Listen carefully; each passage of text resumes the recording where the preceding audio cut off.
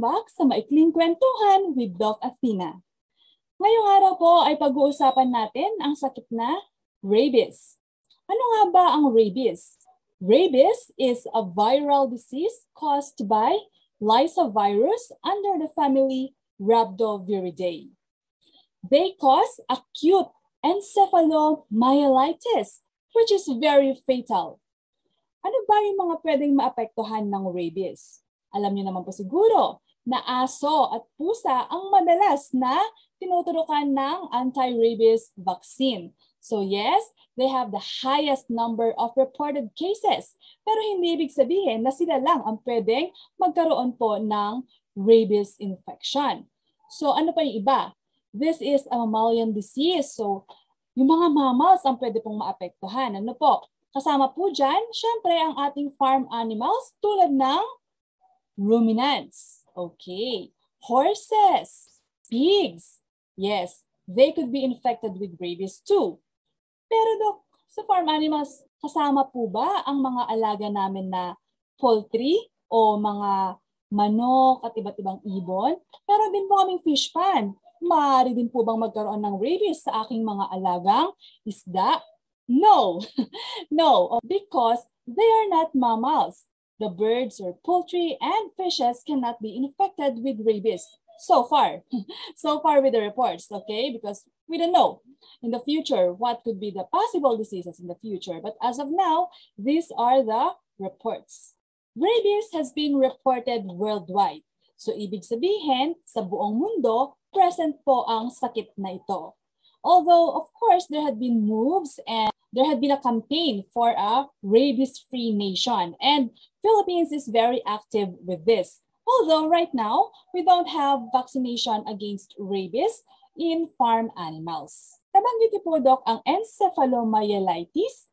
Yes, kasi po, ang target system ng sakit na ito ay ang ating nervous system. So, ibig sabihin, most of the symptoms that we can observe are of nervous signs or related to nervous signs. So Doc, ano po yung mga maaari nating makita sa ating mga alagang ruminants kapag sila po ay tinamaan ng rabies? Iba-iba po kasi may different types of rabies. But in general, kapag ang ating alagang ruminants po ay tinamaan ng rabies, maaari po silang magkaroon ng sudden behavioral changes Ibig sabihin, may mga pagbabago po sa mga pag-uugali o kilos ng ating mga alaga.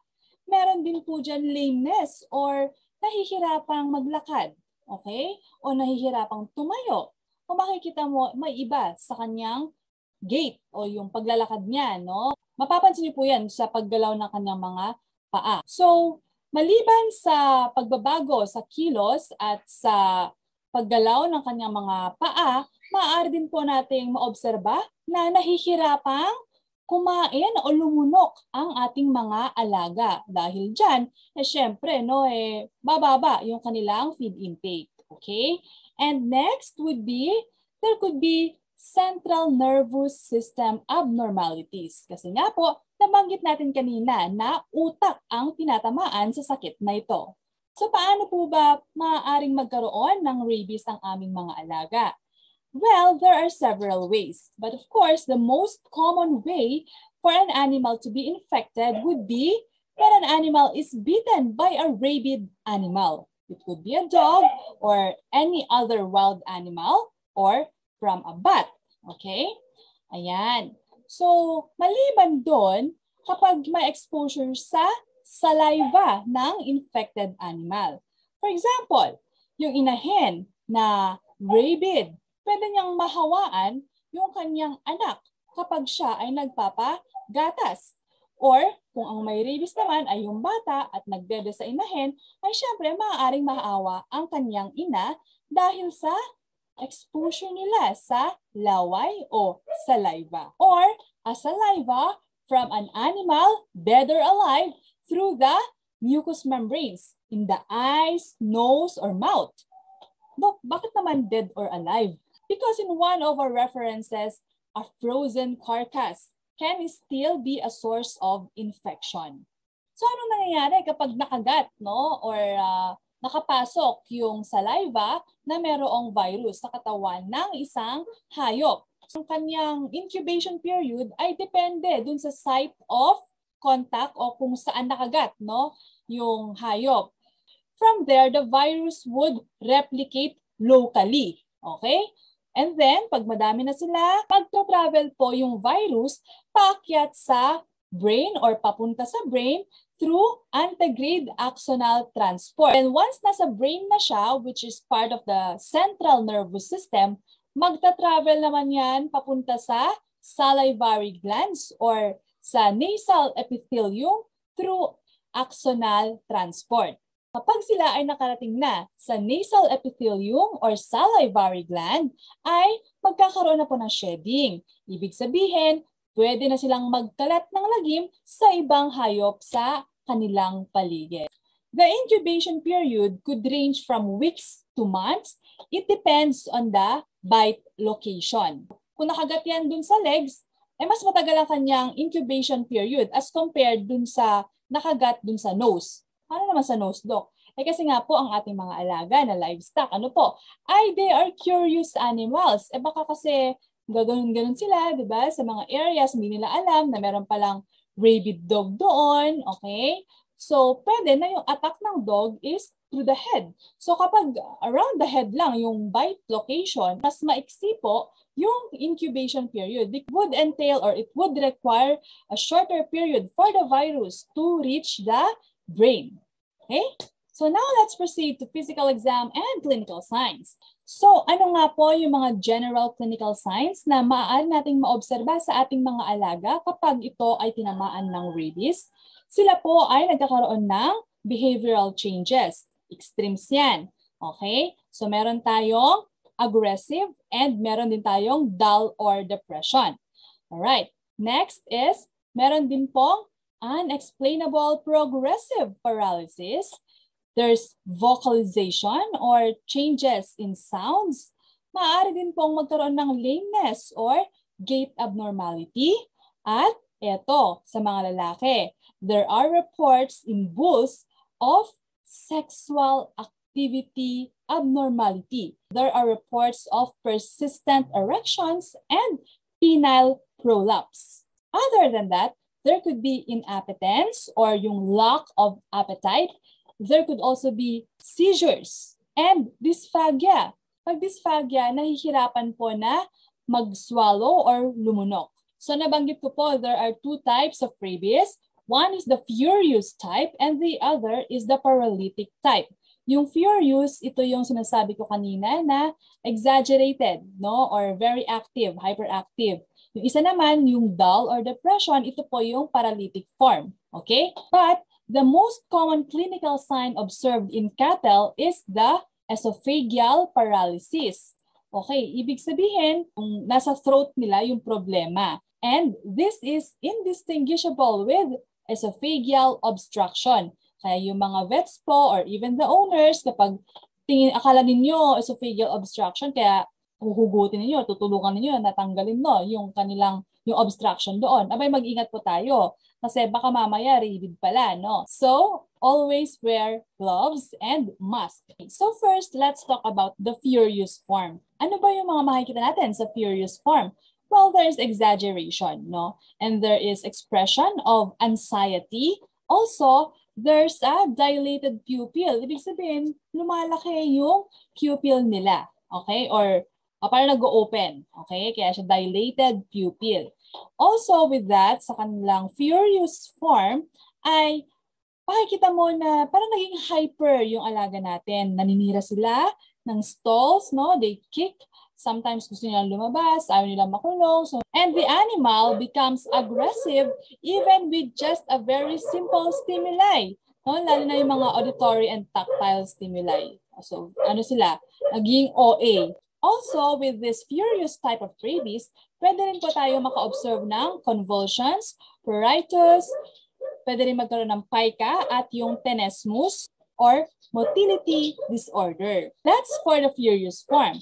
Now, let's move to the paralytic form. So with the paralytic or dumb form, pwede pong magkaroon ng anorexia, so walang ganang kumain, depression, ataxia, pwede rin. At gayon din po ang shifting leg lameness at fever. There could also be paralysis of the masseter muscle. Ano ba yung masseter muscle?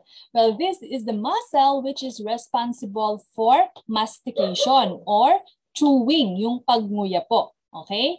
Maaari din po na magkaroon ng pharyngeal and laryngeal paralysis. Ito rin po ay tinatawag na throat spasm kasi yung larynx at yung pharynx, these are actually parts of the throat.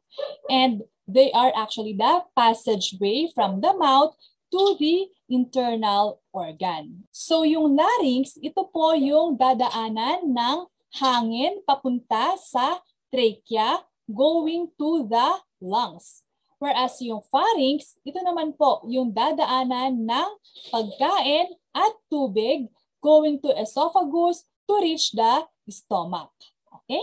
And because of this paralysis, nagkakaroon po ng salivation and inability to swallow. Ibig sabihin, nahihirapang lumunok. Bakit? Eh kasi nga po nagkakaroon ng throat spasm or nagkakaroon ng paralysis yung larynx and pharynx. Ngayon, dahil nga dun dumadaan no, yung tubig at pagkain, natawag din minsan ang rabies as takot daw sa tubig, no? So, nagkaroon doon ng hydrophobia. It's not actually takot sila sa tubig. It's because pag merong tubig at iinom, no? Kahit konti lang yon pag dumaan sa kanilang throat, dito sa lalamunan, ay nagkakaroon nga ng throat spasm. Masakit yon sa kanila. Okay? It's not that takot sila sa tubig. No. Ano pa yung pwede nating makita kapag sa dumb or paralytic form? Okay? Maaari rin po na merong flaccidity, the tongue, tail, and anus. So parang nanlalambot po no, yung dila nila. Kasi nga, there's paralysis. Okay? Ano pa? There would also be tenesmus. Pag tenesmus, uh, yun nga, nabanggit ko kanina, this is actually uh, motility disorder, no? So, parang feeling nila, magbabawas sila, pero wala namang lumalabas. So, stressful yun, no? Even with humans naman, if you experience that, di ba? Okay, Doc, kapag na-observe po ba namin yung mga signs from the furious form or the paralytic or dumb form, ibig sabihin may rabies na po ang aming alaga? Hindi po. So kapag meron pong isang single clinical sign, maaari pong maglista ang inyong veterinaryo ng differential diagnosis. Ito po ang kanyang listahan na maaaring sakit ng inyong alaga before the vet could arrive to a final diagnosis. So ano po yung mga ibang sakit na maaaring paghinalaan kapag nakitaan po ng mga clinical signs of rabies ang aking alaga? Una po sa listahan ay behavioral aggression that is not related to any infectious disease. Maaari lang na bored, okay? Or baka kailangan baguhin sa routine ng animal. Dahil nga po nagkakaroon ng throat paralysis, maaari din po nating isama sa listahan ang oral or esophageal obstruction. There are also several neurological diseases that could be included in differential diagnosis, such as grass tetany, polioencephalomalacia, milk fever, nervous ketosis, nervous coccidiosis, anaplasmosis, or bacterial encephalitis. Maaari din pong isama sa differential diagnosis ang mga sakit na transmissible spongiform encephalopathy, katulad ng scrapie, yung mad cow o bovine spongiform encephalopathy at ang chronic wasting. Minsan po akala natin rabies. Yun pala, neurotoxin ang may sala. Ano ba yung mga neurotoxins na yan? Usually yung carbamates or OPs na tinatawag or organophosphates. Matatagpuan to usually sa mga agri-chemicals. No? So be very careful with that as well. For ruminants with a differential diagnosis, we could also include several viral encephalitis diseases tulad ng bovine herpes virus encephalomyelitis, pseudorabies, malignant catarrhal fever, ovine or caprine lentiviral encephalitis. Ito po yung binanggit ko na SRLV sa ating discussion tungkol sa kae. Ito po yun, okay? So you could toggle there somewhere, lalagay ko yung dyan. So, diniscuss natin dyan ang KAE na nagkakos din po ng encephalitis or problem with the brain or nervous signs. Pwede rin po ang West Nile virus encephalitis, Borna disease, paramyxoviral sporadic bovine encephalomyelitis, at ovine encephalomyelitis o looping ill. Eh dok, ang dami naman palang sakit. So paano natin malalaman no, kung rabies nga po ang tumama sa ating alaga o yung mga iba't ibang sakit na sinabi mo? Okay, so meron po tayong diagnostic procedures. Okay, so dyan natin malalaman kung rabies nga ba o yung napakadaming ibang sakit na nabanggit ko ang problema ng ating alaga.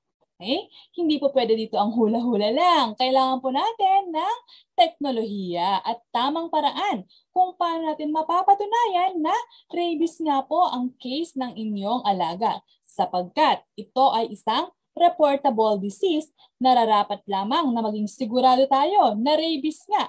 Dahil kung hindi, eh, maaaring iba rin po yung paraan o approach natin dun sa case ninyo.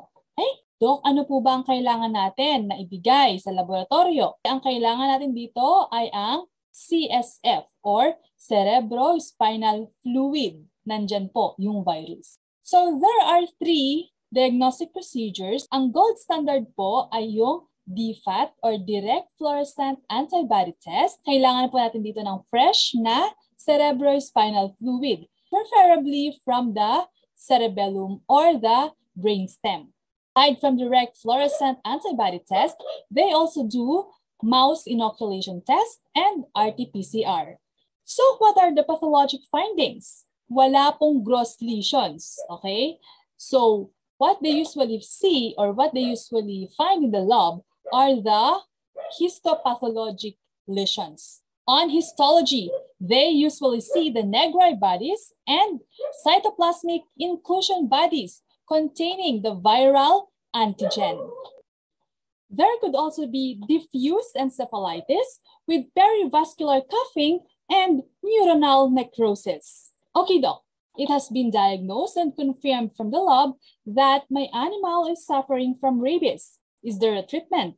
Fortunately, there is no treatment of rabies in livestock, but here's the good news, it could be prevented.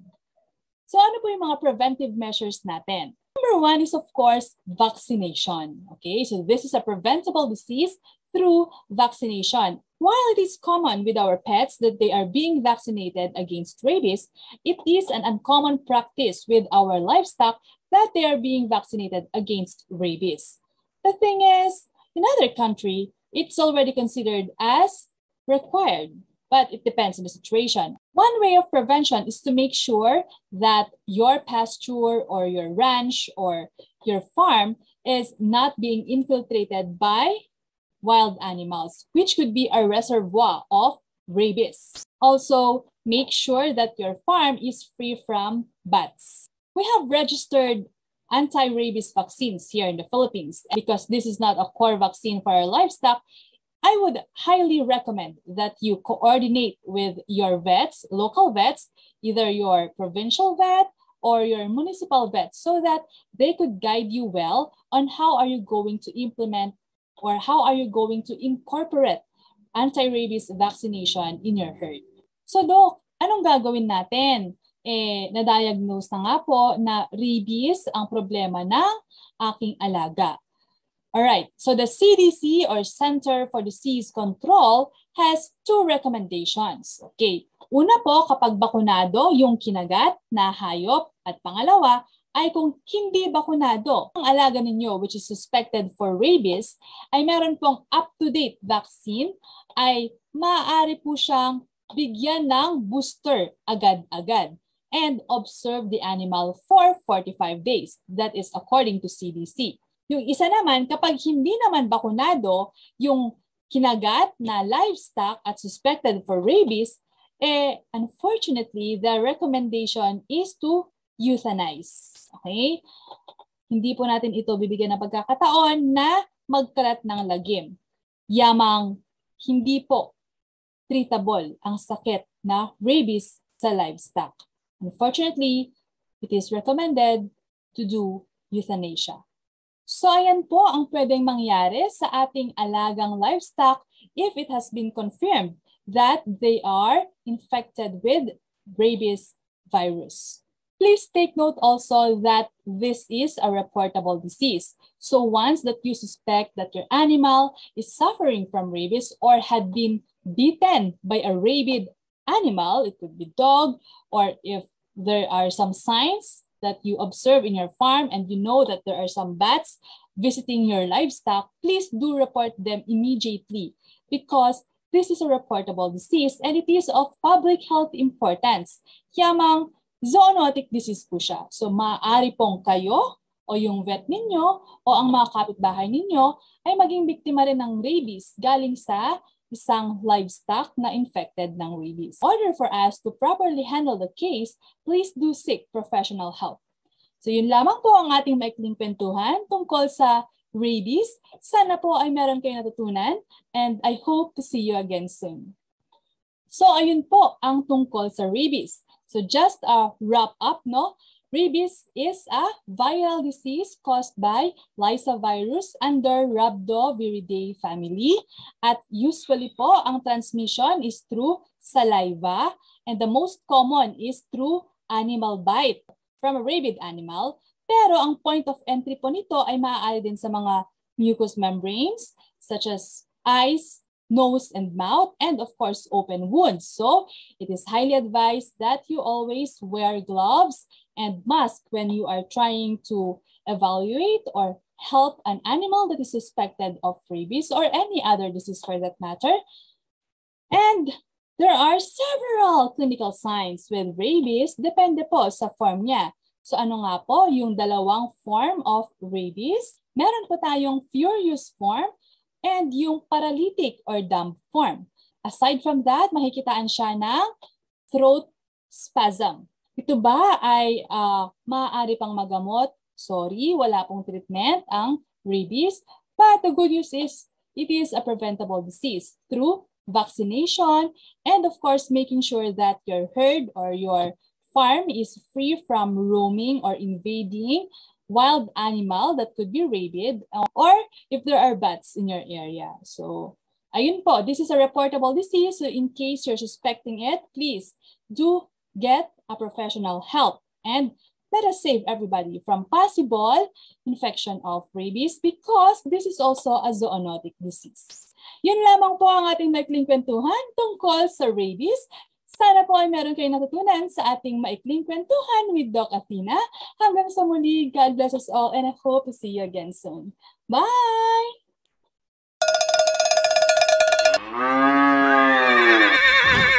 Ha!